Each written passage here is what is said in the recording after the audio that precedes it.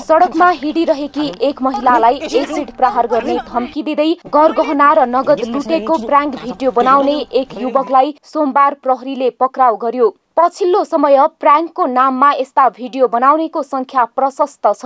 नेपाल प्रहरीको साइबर ब्युरोको अनुसार गत आर्थिक वर्ष दुई हजार अठहत्तर उनासीमा प्राङ्क सम्बन्धी चौधवटा उजुरी दर्ता भएका थिए।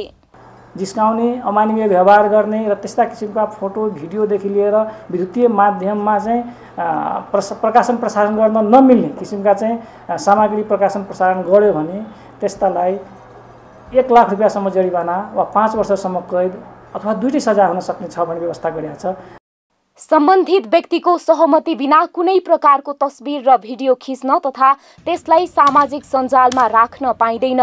विद्युतीय कारोबार ऐन अनुसार झुक्क्याउने जिस्काउने अमानवीय व्यवहार गर्ने कारवाहीमा पर्छन्। त्यस्तै विद्युतीय माध्यमबाट प्रकाशन प्रसारण गर्न नमिल्ने किसिमका सामग्री प्रसारण प्रकाशन गरेमा एक लाखसम्म जरिवाना र पाँच वर्षसम्म जेल सजाय वा दुवै कारवाही हुन सक्ने साइबर ब्युरोको भनाइ छ।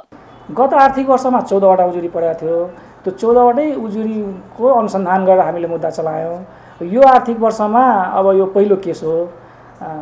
यसपालिको चाहिँ अब फर्स्ट केस चाहिँ हिजो प्राङ्कको नाममा डर देखाउने धम्क्याउने लगायतका अपराधिक गतिविधिको नक्कल गर्नु गैर कानुनी हो। यस्ता गतिविधि नियन्त्रणमा सम्बन्धित निकायको बलियो उपस्थिति आवश्यक छ। क्यामरामा कुमार मानन्धरका साथमा निशा देउजा काठमाडौँ।